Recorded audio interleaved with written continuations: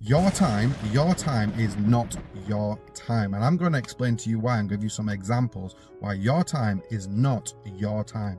In this working world, the day was meant to be broken up into three sections eight hours sleep, eight hours work, and eight hours of your time. It was meant to be your time, but everything gets eaten up into your time. I'm going to give you some examples of when your time is supposed to be.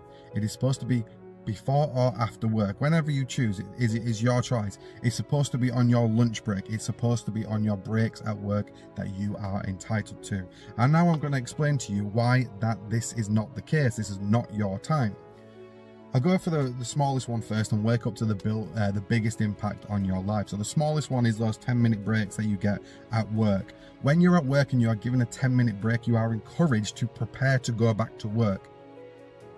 When I've got a 10 minute break at work, I have to go, right, I've got three or four jobs to do to get out of the way before I can go back to work. That's not a break, that's an extension of work. It's an extension of work.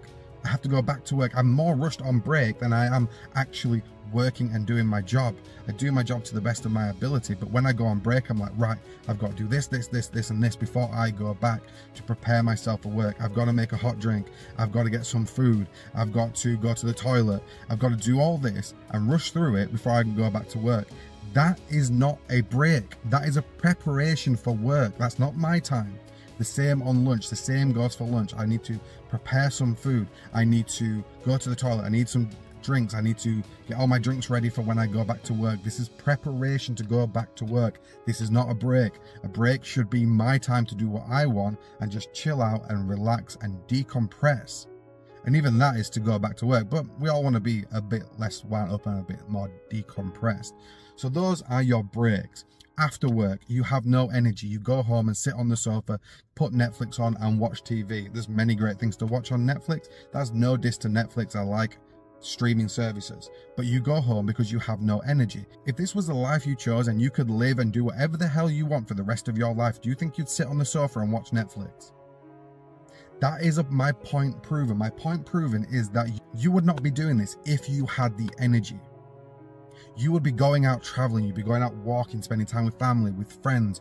These are the things that you're most likely to, to do, or something else, whatever your preference is. You'll be doing what you want to do because you have no energy. You go home, sit on the sofa, and watch TV. You do all the chores, all the things that prepare your home for the week ahead. You have let's say you may work Monday to Friday, on the evenings you relax because you need to decompress and regain your energy. On the Saturday, you've mounted up all those chores that you could have been doing in the week, but you couldn't because you had no energy and you were working. On Saturday, you now have to go through all those chores. You have to do a food shop, you have to clean the house, you have to do all these extra things that you could just naturally do through the week, just a little bit here and there, because you'd have loads of energy through the week. On Sunday, you might get some rest. I doubt it, but if you do get some rest on a Sunday, just think of what I've just told you that is. What you're doing on a Sunday, you are resting. You're resting because you have no energy.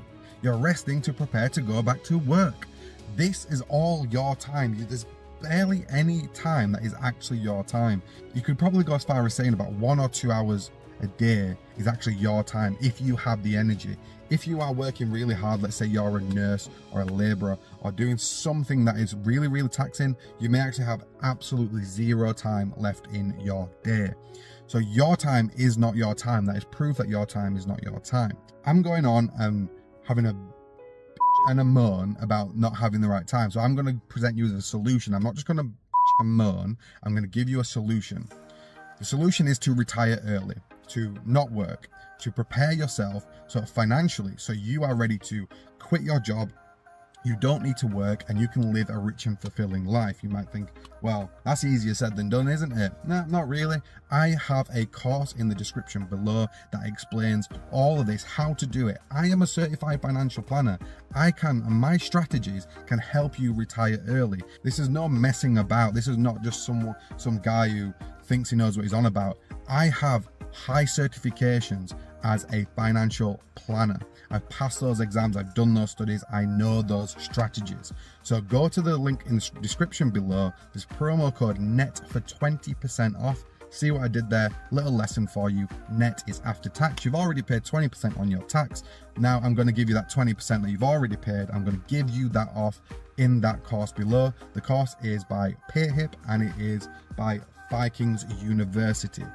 Click on the link below, go to the course, take the course, and retire early and live a fulfilling life. Can you really afford not to?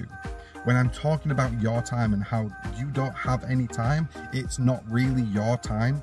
Can you really afford not to? Not to retire early. One day you will die. This is ominous. One day you will die. I'm 35 and one day I will die. Between the age of now at 35 and the day I die, I want to live a rich and fulfilling life. I don't want to be working full time all the time. This is a problem. I want to spend time with my friends and my family and go traveling and have all those experiences that I can take to my grave. That is what I want. So, really, can you afford not to retire early? Ask yourself this Can I afford not to retire early? Can I afford not to retire early? That's the thing. A lot of people are asking themselves, I can't afford to retire early. Can you afford not to retire early?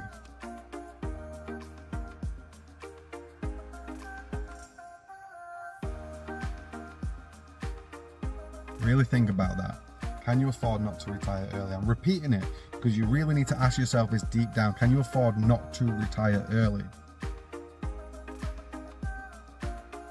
Live that fulfilling life. Your friends, you owe it to yourself. It's an honorable goal to retire early. Oh, you owe it to yourself. You owe it to your life. You owe it to your experience in life. You owe it to yourself to retire early.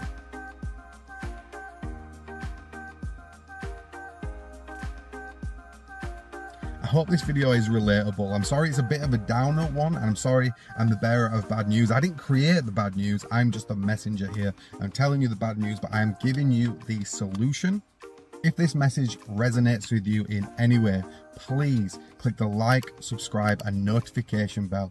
I will be giving you so much more free information on helping you retire early. If the course is not for you, then this YouTube channel is absolutely going to be for you. So like, subscribe, and hit the notification bell so you see these videos first that come to you first on how to retire early, financial planning strategies. And if you're interested in my journey, where I began, how I started this whole process on YouTube, click on this video here and you can see my journey from the start.